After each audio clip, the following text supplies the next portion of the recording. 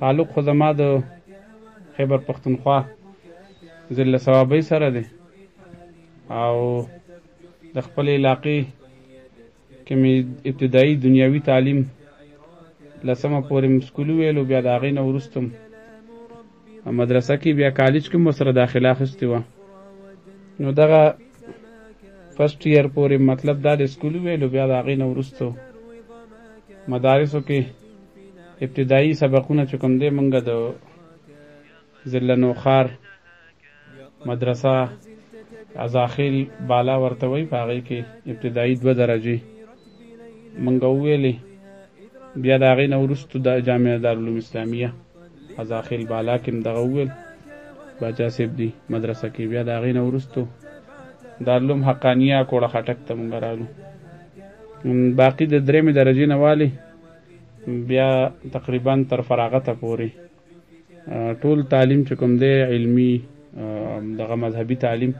هغه ما د دارالعلوم حقانیه کوړه خټک نه حاصل کړی دی دغه ټول حضرات اکثریت زمونږ د جامعې اساتذه چې دي دا زمونږ استادان پاتې شوي دي که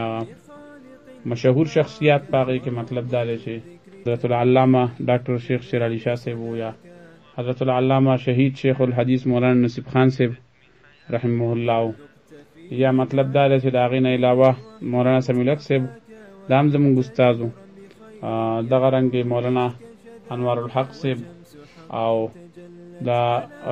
نور حضرات دیر بابا جی باندې چې مشهور دی مولانا عبدالحلیم صاحب او مغفور الله بابا جی دا زمونږ د حدیث استادان دي د هغې نه علاوه زمونږ د فنون استادان چې کوم دی مشهور استادان حافظ شوکت علي صاحب مولانا فیض الرحمن صاحب او مولانا سعید الرحمن صاحب دغه ټول د زموږ استادان دي نو دغه سره تعلق او ابتدایي دغه له حاصل سره چې کوم دینه مطلب زموږ تعلق مذهبي اول وختونو کې سیاسي جماعتونو کې بعضې کار کړو په هغه وخت کې خصوصا د ایم ایم ای په وخت کې هم د دغه سره منډې تړلې کړې وي او په هر حال موږ ته بیا دغه لارې انتخاب هغه صحیح کار نه شو ورستو بیا د امارت د سقوط نه ورستو موږ چې کله نوې خوځښت شروع شو نو په جهاد کې برخه واخیسته او بیا پاکستان چې چونکه په دغه وخت کې د افغانستان د اسلامي امارت او دغه شانتي د عربو مجاهدینو داسې د نورو خلاف چې کله پریشنونه شروع کړل نو دې نه وروسته مطلب دا دی چې په دغه جهاد کې را روان یو، دغه تر اوسه پورې په کې شروع یو، الله تعالی نه د استقامت دعا کوو او الله تعالی دې مونږ ته ټولو ملګرو ته استقامت را نصیب کړي او الله تعالی دې مونږ د خیر په لاره باندې بوځي او الله تعالی دې مونږ د شر د ټولو لارو نه وساتي. تفسیر په حوالې سره خو مونږ په خپل کلي کې شاه منصور کې پنځه کاله تقریبا ما د مولانا نور الهادي صاحب نه تفسیر کړو او د هغې نه علاوه د ډاکټر صیب شیرعلي شاه رحمه الله په تفسیر کې هم داسې په اکثري دغه کې برخه اخیستې وه البته ټول قرآن کریم ما د هغوی نه نه دی ویلی ټول قرآن کریم ما د دغه شاه منصور مدرسه کې چې کوم دی هغې کې ویلی ډېر زما د څنګ ملګري داسې دي اوس هم شته دی او ډېر شهیدان هم شو ډېر د قید او بند صعوبتونه برداشت کړئ الله تعالی دې په غیرت او په عزت سره رهایی نصیب کړي چې هغه ملګری د هغه مباحثو د مکالمو د وجنه چې کله مطلب مونږه کړی دي الحمدلله چې هغه بیا د جهاد فی سبیل الله لار اختیار کړی دا هغه بیا په دې موقف باندې سرخلاص شوی دی او بیا مطلب دا چې هغه لار پرې خېده بالکل داسې ډیر خلک شته یو غټ تعداد خلک بهر حال مونږه مطلب دا دی چې په دغه کې وخت تیر کړی دی او بیا وروسته چې کله مونږ په جهاد کې برخه واخیسته نو بعضې حقایق مونږ ته راښکارم شو او ورسره ورسره دا خبره مو چې مطالعه الحمدلله هغه چې سړی وکړي نو ښه مطالعه سړی ښه طرف ته بیایي نو بیا په هغې کې مونږ ته د دې موجوده نظام او د جمهوریت هغه حقیقت راخکاره شو دا غي په وجه باندې مطلب دا چې موږ د دې لارې د جهاد په سبیل الله د لارې انتخاب وکړو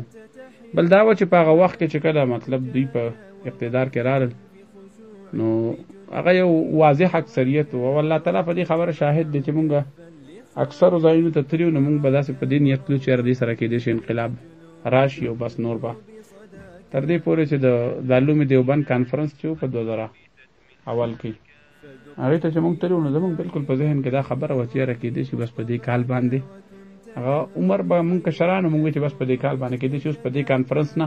د تبدیلی یو اعلان به وشي بس دا اسلامي نظام به نافذ شي یا بس وشي بیا چې کله دوی په واضح اکثریت سره راغلل نو موږ وی چې یاره که نور څه نه خو په دې صوبه کې خو به یو بدلون راشي هغه صوبه کې چې موږ ولیدل نو تر دې پوري چې مطلب الحمدلله سیاسي سمج بوج هم لرل او مذهبي لحاظ سره دینی مطالعه هم لرل نو تر دې پوري نشو کولای هغه امر بالمعروف او د نهي عن المنکر چې کومه اداره وي چې هغه کفري نظریات چې کوم دي مثلا کمیونستان په دې صوبه کې شته سوشلیست خلک شته لیبرال خلک شته باقاعده د دې لپاره چې کوم دعوت چلی د هغوی په اجتماعاتو باندې هم پابندي نه لګېده موږ د بعضې حضراتو نه باقاعده پوښتنې وکړې چې یاره دا ولې نه لګېږي هغه وی چې نه دا خو په دې نظام کې ازادي ده چې تم پارټي جوړولی شي او دوی هم جوړولی شي نو موږ وی چې د کفر دپاره د اجتماعاتو منعقد کولو اجازت شته دی وی چې په دې نظام کې شته دی موږ په دې خبره پوه شو چې یاره دې کې که مطلب د نیک نه نیک خلک وردن نه شي او د دې نظام برخه جوړه شي نو دا نظام کې څه کولی نه شي ګوره دا دې کې دوی ته اوس ازادي حاصل ده صرف په عدالت کې چیلنج کولې کدرې نشه چې تر دوی د ازادي بنده کې چې بای د خلک کفر ته دعوت چلی لهدا په دوی د پابندي ولګي پابندي کدرې په نشي لګي دي ها د سینماګانو په باره کې دومره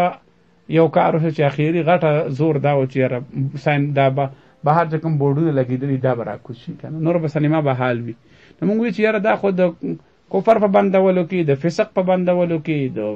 بې حیايۍ د عریانۍ په بندولو کې هم دا کار نشي کولی لهدا او دا خلک چې کوم دي نو دا خلک پکې غریبانان مجبور دي دوی که وغواړي هم دا کار نشي کولی د برنه نظام دغه شانتې دی او هغه فکر زمونږ په دغه ځای کې ختم شو چې کله دغه کفري اجتماعات مونږ لیدل چې دا منعقد کیږي او په دې باندې سره د دینه چې په صوبه کې اکثریت د اسلامیانو دی حکومت د اسلامیانو دی او دوی په هغه باندې پابندي قدرې نشي لګولې د کفر اجتماعات قدرې نشي بندولې نو دې معلومه ده چې را اسلامي جمهوریت او د مغربي جمهوریت دا تقسیم یا د مشرقي جمهوریت او د مغربي جمهوریت تقسیم دا اسې خبره ده بلکې په ټولو جمهوریتونو کې هم دغه شانتي مسله ده چې دا مکمل ازادي حاصله ده لهذا موږ بیا د هغې نه وروسته د دغه لارې بهرحال تصانیف په ماحول کې خو موږ نه یو ځکه چې د غره ماحول دی او د جنگ ماحول دی نو په دې ماحول کې خو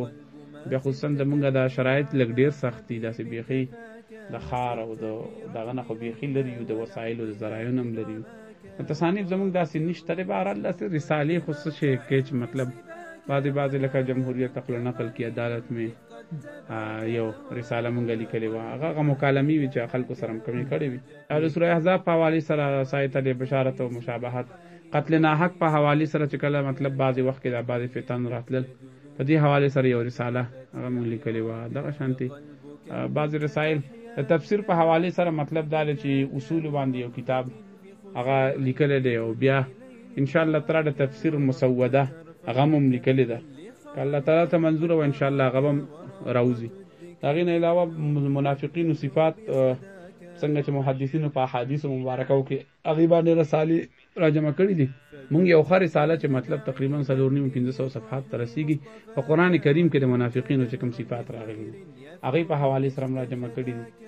هغه باندې یو رساله شته دا سه بعضی کتابونه رساله رساله په شکل کې دا موجود دي البته مطلب دا چې غټو کتابونو لیکلو ته